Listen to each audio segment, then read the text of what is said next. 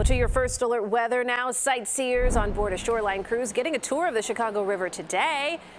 Look at that banner. Happy St. Patrick's Day. It's already up, but it will look much different tomorrow, that river, when it's dyed green for St. Pat's Day. The tradition begins at 10 a.m. And Albert's tracking pretty decent weather in the morning, uh, and then the winds kick in, so we should plan accordingly. Yeah, breezy in the morning, and then it turns windy in the afternoon. We could have wind gusts as high as 40 miles per hour. And if you're coming to downtown, River North, the Loop, those west to east facing streets like Randolph, like Washington, it's going to accelerate the winds, the canyons of those high rises. So windy for tomorrow. But it's because of those gusty west winds. Well, we're expecting near 60 degree weather. Cold front, though, is in the forecast as we had late in the day Saturday. So watch for temperatures to fall Saturday evening. We'll really feel the cool air on Sunday. We'll struggle to make it to 40 degrees on Sunday. Most of Sunday afternoon spent in the 30s. Wind chills will be in the 30s. And we're talking about wind chills Sunday night in the teens and 20s. And it's a cold one Monday at 39 with some flurries possible. But First day of spring up to 54 Tuesday, low 50s we head towards the middle part of next week. Cooler by the lake, big time. We've got low 40s right now with an east wind,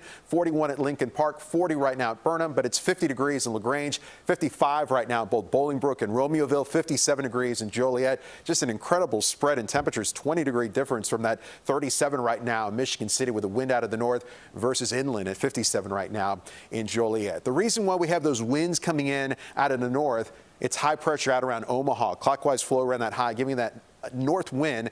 The high, though, is going to sink down towards the south, and that's why we're going to see more of a west wind for tomorrow. That's a warmer wind for us. So hour by hour forecast, we'll look for temperatures to be in the low 40s by late this evening, upper 30s and low 40s as we head into tomorrow morning, maybe a touch cooler in Valparaiso at 35 and 33 in LaPorte, but we're looking at mid to upper 30s out here towards the western suburbs to start the day. Some sunshine early on, and then the clouds build in, the winds accelerate, and we'll look for those temperatures to be right around 56 degrees at 3 o'clock o'clock. Also around 3 o'clock, I think those winds are going to be gusting to around 40 miles per hour. But despite more cloud cover and those windy conditions, upper 50s to near 60 degree weather is in the forecast. Then here comes the cool down, a 20 degree drop to 40 degrees on Sunday. 39 on Monday. First day of spring at 54 on Tuesday with sunshine coming out in the afternoon.